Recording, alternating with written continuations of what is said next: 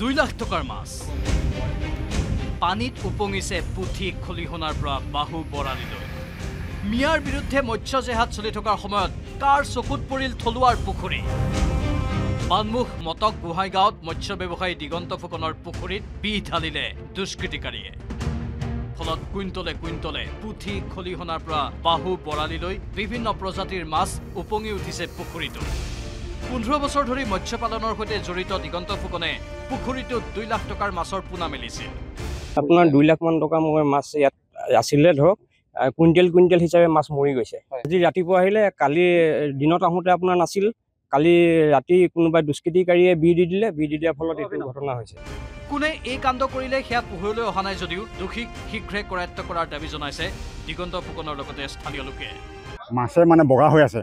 প্ৰায় এবিঘামানৰ জেগাৰ পুখুৰী আৰু দ মানে দহ ফুট বাৰ ফুটৰ ওপৰত দ। আৰু গেছত যে মাছ মৰিছে এইটো অনিশ্চয়তা কেতিয়াও সম্ভৱ নহয়।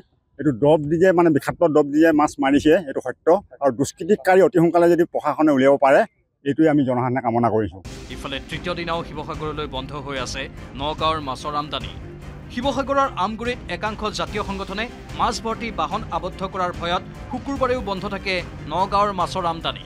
গুৰিত নগাঁৱৰ মাছ আহিবলৈ নিদিয়াৰ হুংকাৰ দিছিল একাংশ সংগঠনৰ নেতাই।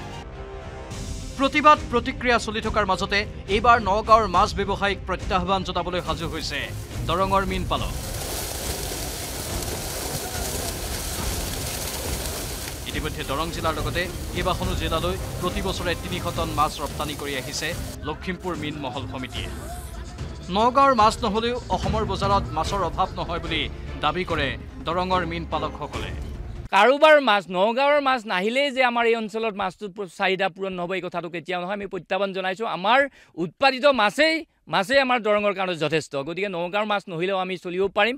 আৰু যদি প্ৰয়োজন হয় আপাৰ আছামৰ মাছটো শিৱসাগৰ লখিমপুৰ তেতিয়াহ'লে যদি প্ৰয়োজন হয় আমি এই লখিমপুৰ অঞ্চললৈকে মাছ ৰপ্তানি দিবৰ কাৰণে সেই বজাৰত দিবৰ কাৰণে প্ৰস্তুত আছোঁ। শিৱসাগৰৰ পৰা প্ৰদীপ গগৈ আৰু ওদালগুৰিৰ পৰা ৰিপুঞ্জয় নাথৰ report news eighteen Assam north east. আপুনি বিচৰা বাতৰি পাব কেৱল নিউজ এইটিন এপত। নিউজ এইটিন এপ ডাউনলোড কৰিবলৈ স্কেন কৰক এই Q R code Google play ষ্টৰতো পাব এই নিউজ এইটিন এপ